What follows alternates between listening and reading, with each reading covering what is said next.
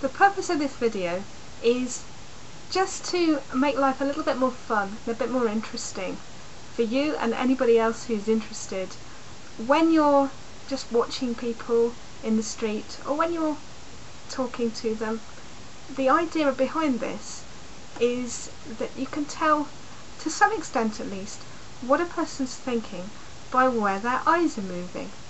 Now the theory is that if somebody's thinking about something visual, that is they're thinking about a picture of something in their mind, their eyes will go upwards, like this. If they're thinking about something in sound, their eyes go from side to side, like this. And if they're thinking about something in terms of their feelings, what they feel about something or a sensation, they'll look downwards, like this. There's a little bit of a variation on that, in that if they're debating something with themselves, especially something a bit theoretical, they tend to look down to the left, like that. Now obviously, all of us are different, and sometimes you'll have to have more than one thought in order to debate something with yourself. For example, if you were going to imagine what a dolphin would look and sound like if it was singing the national anthem, yeah, assuming that dolphins can sing and so forth, then you'd have to come up with quite an imaginative thing and your eyes would be moving everywhere. But just to test this out, just to show you what we mean, we're actually going to do something much more simple than that. I've got a series of questions I've prepared to ask my partner and long-suffering spouse, Jim. Um, I'm going to ask him the questions and then you're going to watch, we're going to watch, where his eyes actually go when he's answering them. So, the next person you're going to see on this film is Jim.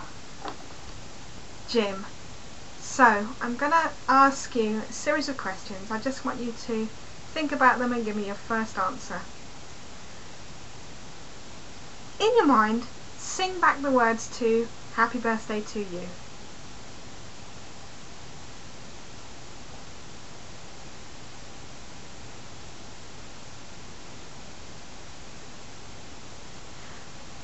And I'm guessing from the fact that you've stopped moving around that you've actually finished doing that.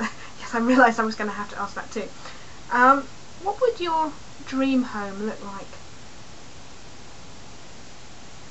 And we've got some serious consideration there. Thank you, that was a great demonstration.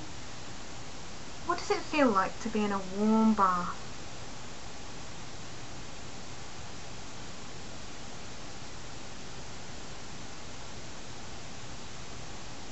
Thank you.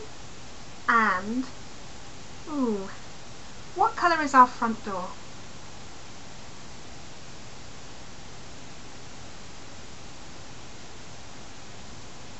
Finally, debate with yourself about how long this video should last.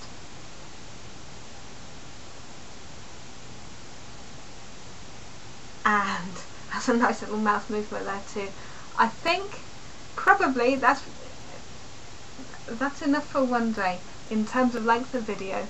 Everybody, I hope you've enjoyed this and it's been a useful demonstration. Many thanks.